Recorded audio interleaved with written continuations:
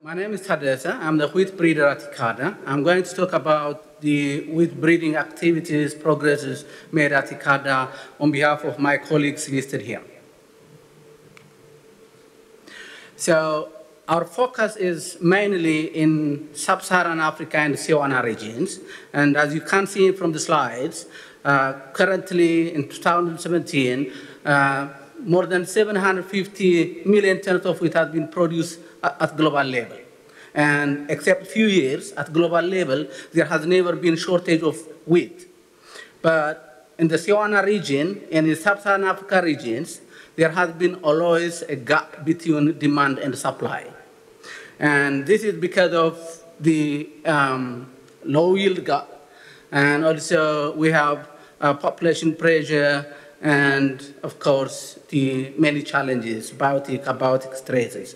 But in reality, in this part of the world, in the CWANA and Sub-Saharan Africa region, there is a huge potential to expand wheat both horizontally and vertically. Uh, especially in Sub-Saharan Africa, if you see, they do import more than 17 million tons of wheat annually. And the national government is, they have to pay $6 billion. The issue is, if we have the land, if we have the resources, can't we grow wheat and feed the population locally? So from our perspective, what we can do is to develop a germplasm which is widely adapted and high yielding, resistant to the major uh, biotic and abiotic stresses, which in our environment are drought and heat, the most important abiotic stresses, and the rest is especially yellow rust and stem rust, and of course some of the important pests like Hessian fly and the Russian wheat aphid. These are the, the key challenges. So our objective is to develop a widely adapted germplasm combining these biotic and abiotic stresses with reasonable, acceptable uh, quality. Of course, the International Center also, it's very important to build the national capacity, especially human capacity, so that the germplasm developed beta CIMMYT or at ICARDA can be utilized effectively for directly release or for parentage purposes by the national programs. As all of you know, neither CIMMYT nor ICARDA do release varieties. Variety release is the responsibility of the national programs. So you may ask, uh, how two centers, ICARDA or CIMMYT, uh, from one location can develop a germplasm that can be utilized worldwide, adapted worldwide in various agroecologies, environments. We do follow key strategies and approaches.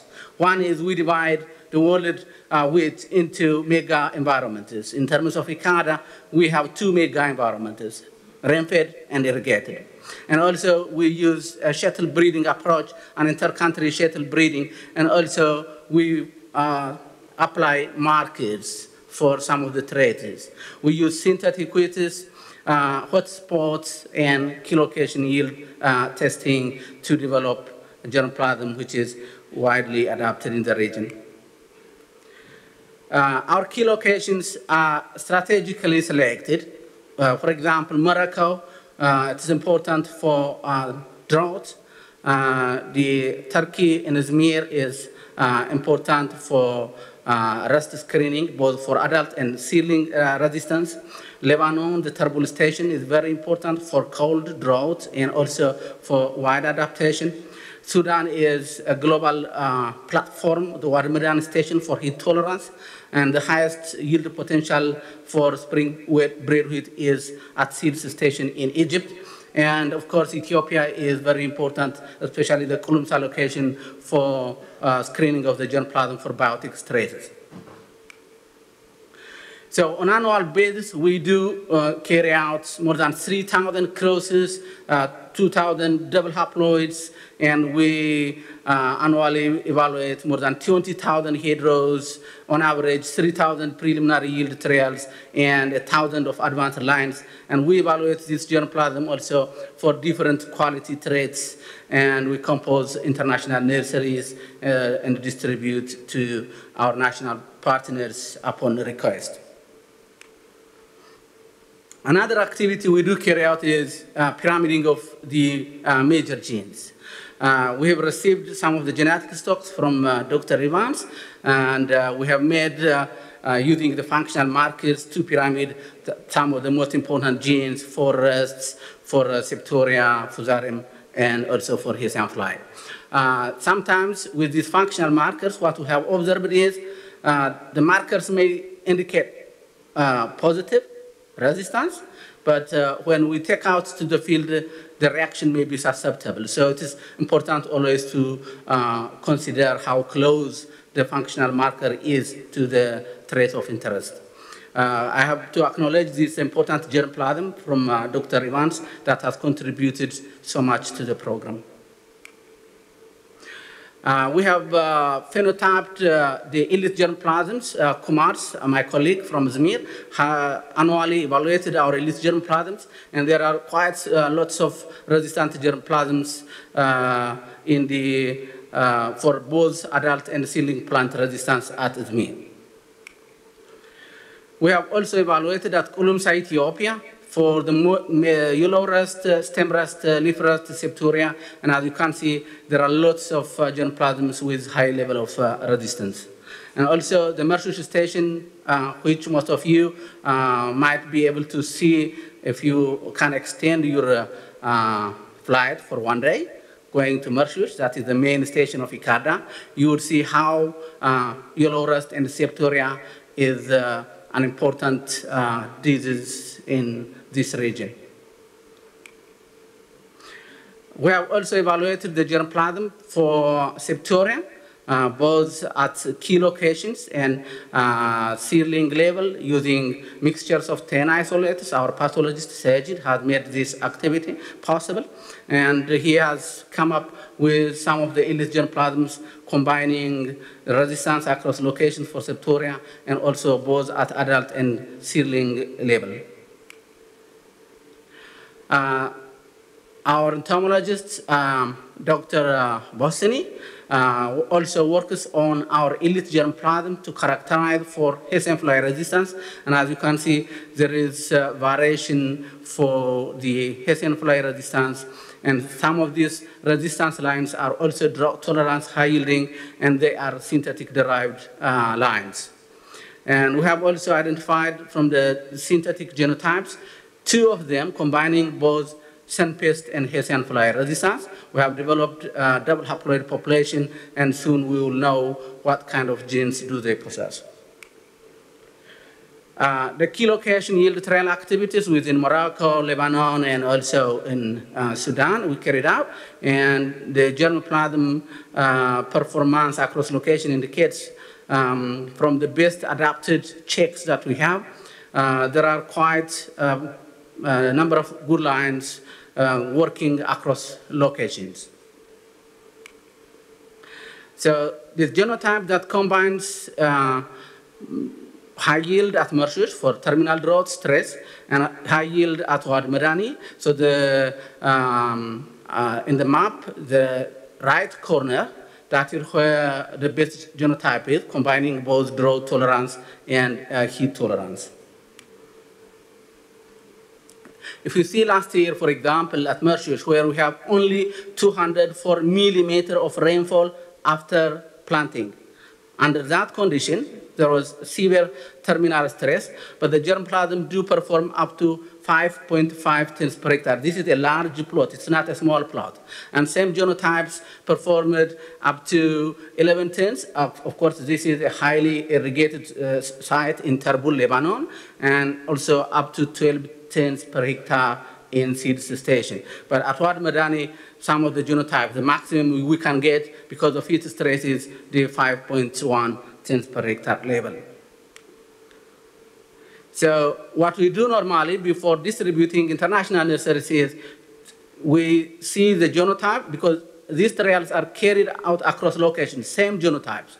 So the genotypes, for example, in the first graph, uh, the right corner uh, genotypes indicate that they do, they do possess high yield at Sids station, yield potential, and also at uh, Wad Medani for heat tolerance. And the next slide, the genotypes, they do have high yield potential and also drought tolerance. So this means this same group of germplasms do have high yield potential, drought tolerance, and heat tolerance. We, uh, we characterize also the germplasm for different quality traits, for gluten strength, protein, and the frequency of the high molecular weight gluten's. And as you can see, there is a quite diverse germplasm for quality traits. And we do also characterize the germplasm for 1,000 kernel weights. As you can see, there is a difference across locations. In Marchouch, the 1,000 kernel weight is low because of yellow rust, whereas uh, in Sids, it is because of heat stress, but at Sids, which is uh, an optimum environment, uh, the 1,000 kernel weight, which is indicative also protein, is high. So in general, from the, uh, based on this, we distribute two observation nurseries, one for heat tolerance, one for uh, general uh, rainfall environments, each containing up to 200 uh, elite materials. Three yield trails, one for heat tolerance, one for uh, dryland environment, the drought, and the other one elite spring yield trail, each containing 50 genotypes into replications and also on annual basis for some selected countries for a project, 12 sub-Saharan African countries, we distribute annually elite germplasms. The bulk of the germplasm is distributed in the CWANA and Sub-Saharan Africa region, but also the germplasm is distributed to Australia, Europe, and North and South America based on a request. And in the last five years alone, more than 50 wheat varieties have been released from ICARDA origin materials. Also, we have analyzed the international nursery we distributed, and as you can see, the red line is the best line from the nursery sent, and the blue line is the best national check. So in every location, you can check this in the international nursery database in ICARDA, There are at least one elite genotype that beats the national check from Australia to in the and Sub-Saharan Africa regions. We've, ch we've checked the genetic gain in Marchouch station by growing the released cultivars of Morocco and our elite genotypes together. For the sake of um, protecting the yield, we sprayed the nursery uh, with uh, fungicides, and what we get is uh, an absolute genetic gain of 96 kilogram per hectare per year basis, uh, which is uh, 2.5% per year relative genetic gain, which is quite good. And uh, the lines starting from the arrow to the right direction, these are the elite germplasms currently available within the ICARDA program. So you can see the huge yield difference, while the national checks are at around four tons after uh, protecting for yield through a fungicide application, but the elite germplasms go up to seven tons in Marchouch. Uh, we have also carried out such similar uh, studies in Sudan for heat tolerance. As you can see, the elite genotypes perform above the best check, that is IMAM, which is Attila 7. And there is an absolute genetic gain of 51 kilogram per year, whereas uh, relative genetic gain is about 1.4% per year in Sudan under heat stress. This is uh, genetic gain uh, in at Sids station, which is uh, highest yield uh, potential site in Egypt. Uh, we have an annual uh, genetic gain of 211 kilogram per hectare per year, which is 2.3 percent per year. in, the, in the two stations, Sids and um, and Wad Madani, we didn't apply fungicide because there is no disease there. So we have tried to analyze, so what are the most important traits in this drought uh, and high yielding material? So some of the students carried out these activities. So as Matthew indicated earlier, canopy temperature and biomass, they are really correlated with uh, yield. The lower the canopy, the higher the biomass, the higher the grain yield. That is what these two graphs indicate. And when we analyze the pedigree of the germplasm, most of these elite high-yielding drought and heat-tolerant germplasm are synthetic derived lines. And when we see the synthetics origin, it is from the Triticum dicoccoides. that tells you how this uh, source of germplasm can be also in the future better exploited, utilized. Uh, we have carried out uh, association mapping studies for different traits uh, for yellow rust resistance, heat tolerance in the past, and many QTLs have been reported. Uh, for also uh, heat tolerance at uh, Egypt, Sudan, and in Syrian locations. But what is interesting is, for the last three years, a QTL on chromosome 5A becomes stably appearing for heat tolerance at Wad Medani. So we will validate this QTL and uh, we will uh, be able to utilize this QTL for marker assay selection. And we have checked this QTL is independent of uh, flowering date. Another activity we undertake also is capacity building. Uh, as I have said earlier, um, we, unless and otherwise there are trained breeders who can utilize the germplasm effectively, then developing a germplasm may not be as productive as it should be. So in ICARDA, we have established an annual wheat improvement course since 2012, and on annual basis, more than 20 breeders do participate uh, in the wheat improvement course from CWANA and Sub-Saharan African regions, supported by different projects. Uh, there are also uh, PhD and MSc students working uh, in the program in collaboration with the national programs and national universities. Currently, there are 13 PhD and MSc students uh, actively undertaking their research.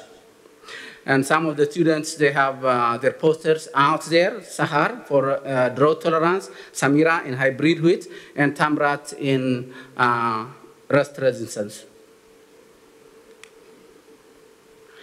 Uh, for more details, what I said about the strategies, and methodologies, uh, you can check uh, the publications in the ICARDA's uh, webpage. But in summary, I would like to say uh, our strategy in developing uh, rust resistance genes is by combining major genes with a minor gene background. And this needs to be strengthened further through the utilization of functional markers. But we need to be careful also uh, when we use the functional markers since we experienced that marker positive but uh, susceptible right out there in the field. Uh, the key phenotyping platforms. This is a very uh, successful approach, and we are lucky enough in the, in the, in the, the for the fact that we are based here, where most of uh, uh, the stresses are there. We have Sudan for heat tolerance, we have uh, Ethiopia or Morocco for uh, the restes, and for drought, we have Morocco as a global phenotyping platform. So we would like to collaborate with all of you, uh, attaching your students, sending your germplasms, and we can uh, make utilize of these uh, phenotyping platforms together for the betterment of wheat. Uh, strengthen the the pre-breeding programs, especially as you have seen it, the pre-breeding materials that we use, uh, the synthetics, they have been developed using uh, maybe certain durum wheat varieties and a few Aegilops tauschii lines. But we could exploit further the unutilized synthetic genotypes or a different uh, durum background to develop uh, new synthetic wheats. So this area could be strengthened in the future. And in ICARDA, we have uh, quite good sets of uh, fig sets. They need to be utilized uh, for gene mining and gene integration purposes. Uh, and we believe also in the, in the, in, the, in, the, area where we live, especially in uh, sub-Saharan Africa and CWANA region, it is possible to strengthen and increase wheat production both through vertical and horizontal expansion and thereby lowering yield gaps and also uh, utilizing inputs.